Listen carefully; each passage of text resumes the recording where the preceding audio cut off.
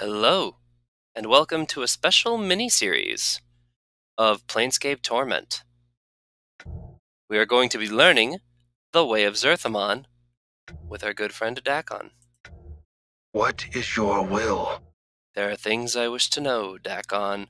So before I get into this, uh, I had to wait until after Ravel, and I mentioned in episode 41 that I was going to make this a mini-series. I'm actually recording this right after that. Um, but I'm going to make this just like a short couple of episodes, anywhere from four to eight, depending on how long I make each part of the Zerthimon uh, experience. But the last time I did this, this actually took me an entire day. Like, I'm not kidding. This was just me just playing this and talking with Dak'kon nonstop. So, for those who are the hardcore fans of lore and learning and all that good stuff, here we are we are going to learn the ways of Dak'kon and the religion of Zerthimon. Can I talk to you about your teachings? Uh, let's see. Can you teach me anything of the art, Dak'kon? Actually, can you teach me anything of the art? Know that the way of my people is not the same as the art.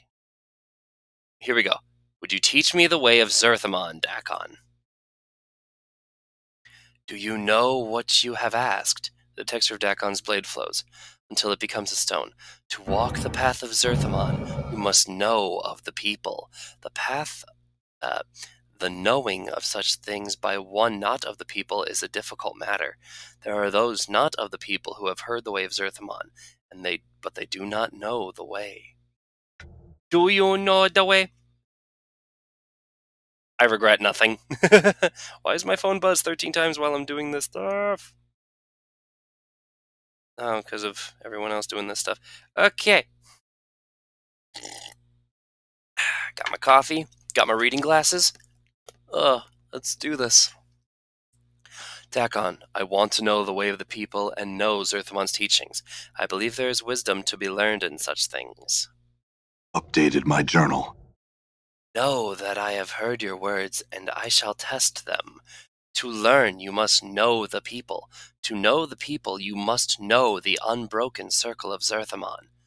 Dak'kon holds up the stone disc in his possession, and his spider like fingers hook into its sides. There is a click, and the plates of the circle slide into a new configuration. He reverses the motion, sealing the stone. Know the first circle of Zerthimon is open to you. Study it, then I will hear your words. I'll read the first circle then. In the meantime, it's about the. Oh. Very well, I will examine it, then speak with you again. So now, we go into Dak'kon's inventory, and we can now use the Circle of Zerthimon. Okay, the small round stone is the unbroken Circle of Zerthimon. It is made up of a series of interlocking circles that fold out from one another. The inter uh, the complexity of the plates and the intricacy of the links proves the text was constructed by a master artisan. Unlock the first plate as Dak'kon showed you. You mirror the motions that Dak'kon made upon the circle, and the plates give way to your touch, the rings sliding upon into a new configuration. Upon the rings are a series of symbols. The script is like no writing you have ever seen. It is a series of interlocking geometries. The circles predominating, just looking, just looking at it, you know the symbols and know you can read them. Read the first circle of Zerthimon know that we are the first people. Once all was chaos, the first people were drawn from chaos. When the first people came to know themselves, they were chaos no longer and became flesh. With their thoughts and knowing of the matter, the people shaped the first world and dwelled there with the knowing to sustain them. Yet the flesh was new to the people with it. People came not to know themselves. The flesh gave rise to new doubts, greed and hates, pains and joys, jealousies and doubts. All of these fed on each other, and the minds of the people were divided. In their division, the people were punished. The emotions of the flesh were strong.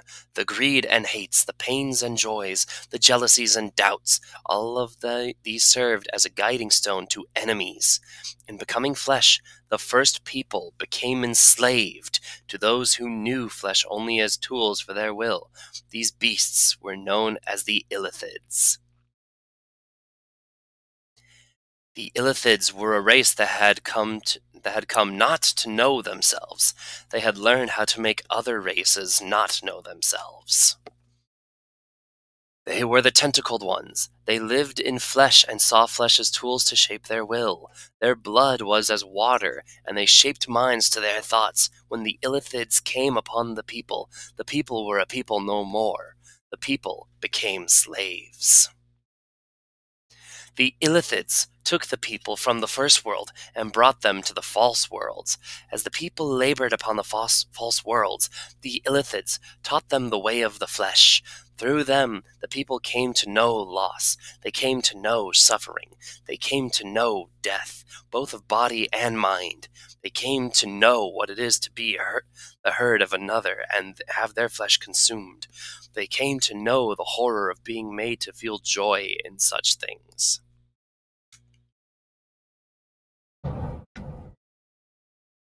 The unbroken circle is the knowing of how the people lost themselves and how they came to know themselves again.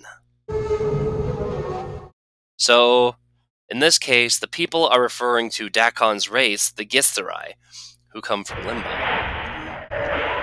And the Illithids, I believe they are known as Mind Flayers in the D&D universe. And we'll get a little bit deeper into what they've done, possibly another time, possibly not slide, slide the plates closed, or examine the circle again. Leave it alone. And now, we talk with Dak'kon again. What is your will? I think I'm gonna make. The, I am gonna make these just super short episodes uh, between each chapter. So I believe there's a total of eight. So eight episodes sounds like good. Sounds like a good number for a miniseries. See. What is your? There are things I wish to know, Dak'kon. Can I talk with you about your teachings? I have read The Unbroken Circle of Zerthimon. I wish to speak to you more about the way of Zerthimon. What did you come to know? Strength lies in knowing oneself. I learned that once someone does not know themselves, they are lost. They become a tool for others. I learned that your people were once slaves to the Illithids. It seems they committed many crimes against your people. Mm. See, I want to be careful how I answer this, because if I answer this literally, it'll show that I'm not fully paying attention to it how he wants me to see it or how it needs to be seen. So, updated my journal. Oh yeah, there's going to be a lot of le- lot of little levels here. You have come to know the first circle of Zerthimon. You not only see the words of Zerthimon, you have come to know them. Dak'kon holds up the circle and hooks his fingers around the edges. There is a click, and the plates of the circle slide into new configuration. Reverses the motion, sealing the stone. Know the second circle of Zerthimon is open to you. Study it, then I will hear your words. So here's another thing that's a uh, bonus to this, if I recall. I do not think he gets it. Does he? Do I? Ah, uh, it's not on this. Well, we'll be learning about that in the next episode of The Way of Zerthimon. Thank you very much for attending this, and I hope you guys look forward to Chapter 2.